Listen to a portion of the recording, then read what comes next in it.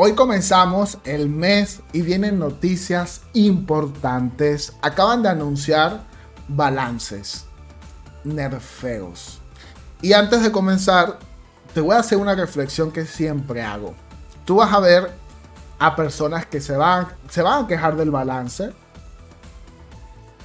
Y la realidad es que estos robots que van a ser balanceados simplemente tienen demasiada ventaja. ¿Sí? Simplemente tienen demasiada ventaja. Angler, por ejemplo. Entonces te voy a decir dos cosas que siempre suceden. Los robots que son meta, los que vuelan, que son meta, son los robots que más nerfeos han recibido en la historia del juego. Aoyun creo que fueron 5, 4, el Hawk por allí también va. Y aquí también le van a hacer un balance al Seraph, otra vez. ¿Cuáles son los otros que siempre son súper balanceados? Los que tienen cuatro armas. Los que tienen cuatro armas en el juego siempre también son los más nerfeados. Tenemos al Spectre, tenemos al Lich y así sucesivamente, ¿sí? El Ares en su momento, etc.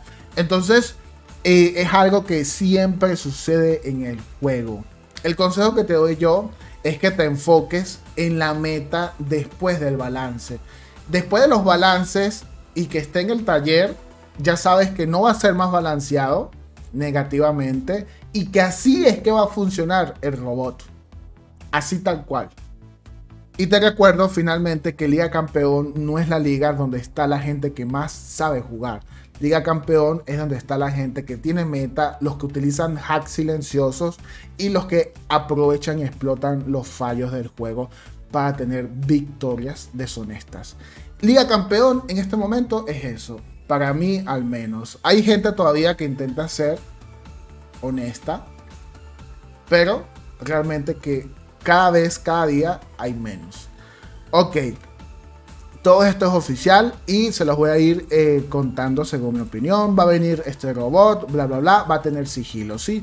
¿Qué habilidades va a tener? Velocidad, un campo de fuerza constante, sigilo ¿sí? Va a tener sigilo periódico, es decir, va a entrar en sigilo y va a tener una nueva habilidad que se llama ejecutar. En total son cuatro habilidades que va a tener este robot nuevo.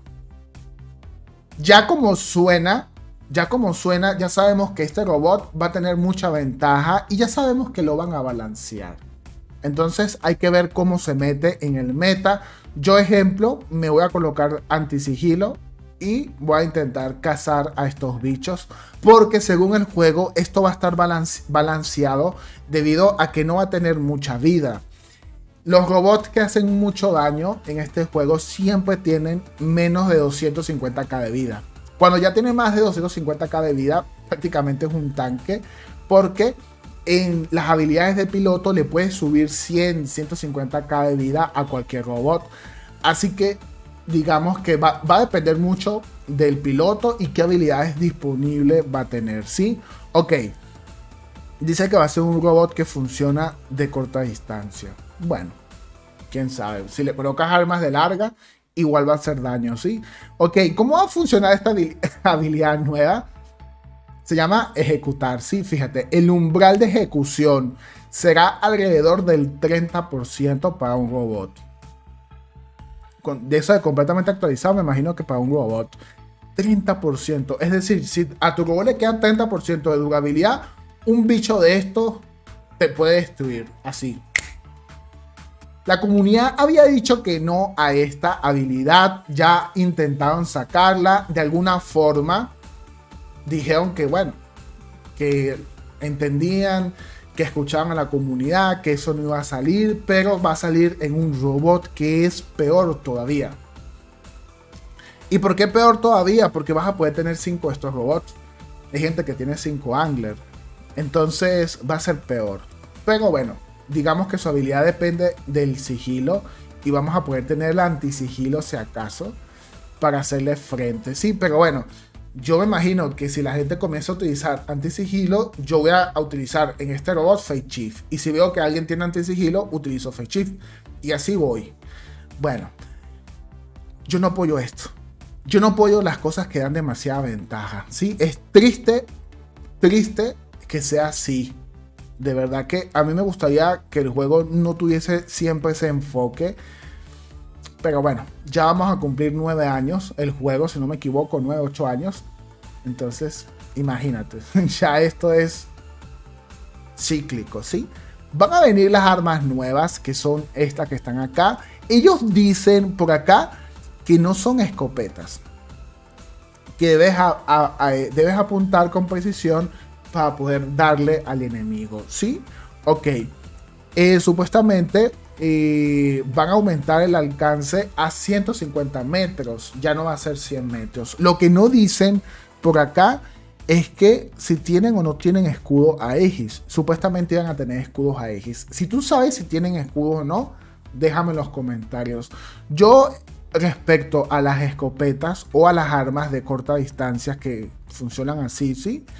Ya esto es normal, ¿sí? Hemos tenido escopetas, Halo, Glory, Corona, las Sónicas, bueno, todas las escopetas ya las hemos vivido es algo que funciona bien cuando tú manejas ese estilo de juego. Si no, te pones a campear y matas a estos manes. Hay que adaptarse a las escopetas. Esta parte sí me ha dejado intrigado. Ojo, intrigado. Y me gustaría escuchar tu opinión. Va a venir un piloto nuevo para el Fafnir. Para el Fafnir. Como lo has escuchado para el Fafnir.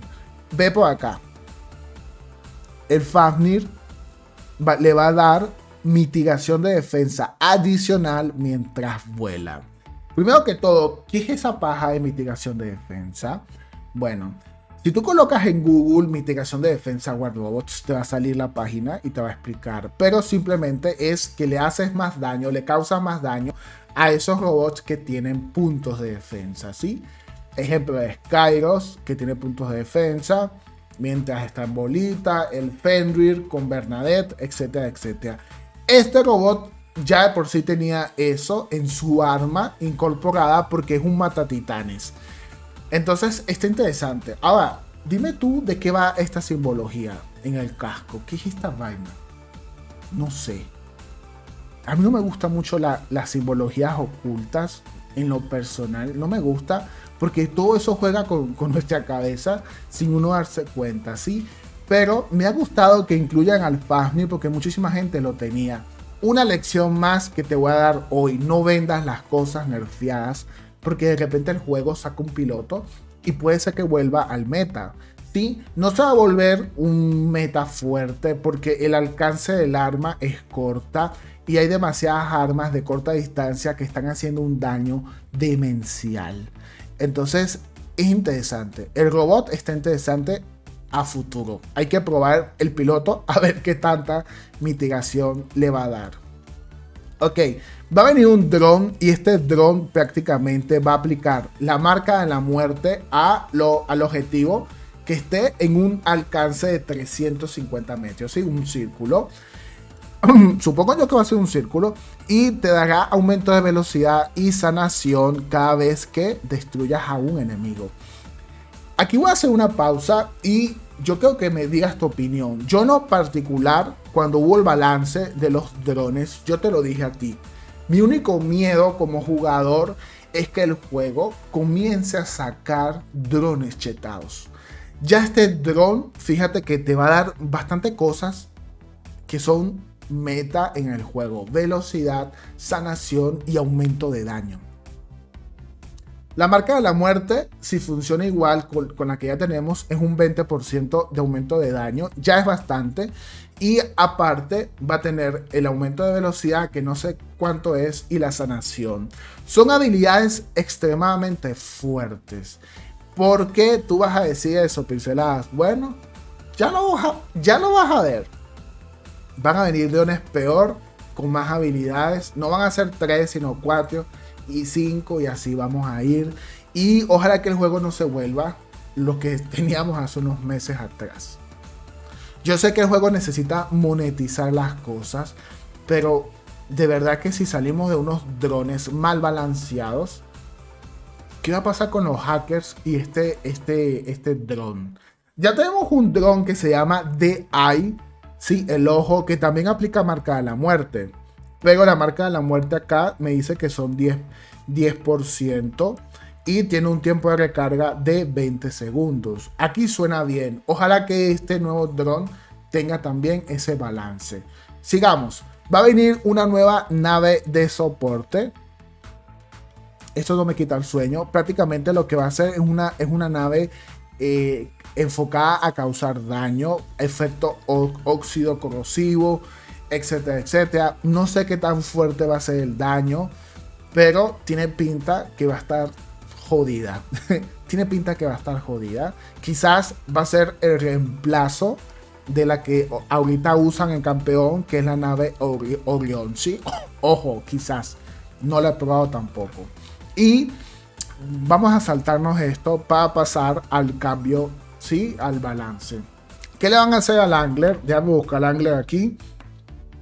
Ok tengo el angler y el angler ya le van a sumar 2 segundos al tiempo de recarga. En este momento el angler tiene 10 segundos de tiempo de recarga, va a quedar en 12. Yo en lo particular pienso que eso es un chiste. Este no es el balance definitivo del angler. Y te lo digo de pana, eh, todo este balance se, va, a dar porque viene este bebé. Bebé nuevo, hay que abrir la maleza para que el bebé entre al juego, ¿sí? Eso es lo que yo opino de estos balances. Ok, y dos segundos, va a estar jodido. Bueno, no sé si va a estar jodido porque puedes utilizar Face Shift. Pero va a estar jodido que este sea el balance definitivo. Posiblemente otro balance al Angler más adelante. El Seraph. Otra vez el Seraph balanceado. Esta vez están pensando en quitarle, ¿sí? Quitarle tiempo de vuelo, dos o tres segundos. Esto es debido a que, bueno, es muy simple. El Seraph tiene una piloto legendaria que le da demasiado velocidad de vuelo. Le van a quitar para que no vuele tanto. Prácticamente puedes pasear todo un mapa pequeño. Digamos que está jodida la cosa para el Seraph. Yo sé que todo el mundo usa el Seraph está funcionando muy bien. Yo hice un video que estaba funcionando muy bien. Lo recomendé y es esto no me lo esperaba yo. Yo no me lo esperaba. La Spear, el arma Spear, que es el arma que están con los keprinianos, eh, ya no va a hacer tanto daño en el segundo y tercero. Porque el arma hace un tiro, entonces hace daño. En el segundo hace más daño y en el tercero pega un pepinazo digamos que ya no va a hacer tanto daño. Y esta arma Claw, que es la nueva de 350 metros, va a estar nerfeada 10 o 20%. Prácticamente va a ser 20%, es lo que yo calculo. Y bueno, noticias buenas, posiblemente, digo yo que es lo mejor. Va a venir al taller y a la tienda va a venir estas cosas. A ver, al taller va a venir la Puncher bueno, aquí, aquí voy a decir Puncher, después no sé de cuántos años, y el Skyros. Al taller y a la tienda va a venir eh, este bicho, el Heimdall, ¿sí? Por 2000. Uy, su madre. 2000, 2000 de platino por este titán, ni loco. Bueno, gente, de verdad que muchas gracias. Estas son las noticias oficiales que tenemos acerca del juego. Sí, pues acá va a venir un evento que va a ser eh, la celebración del aniversario del juego. Pero yo tengo noticias más profundas de eso y voy a hacer otro video. Se les quiere gente, que la sigan pasando muy bonito. Bye bye.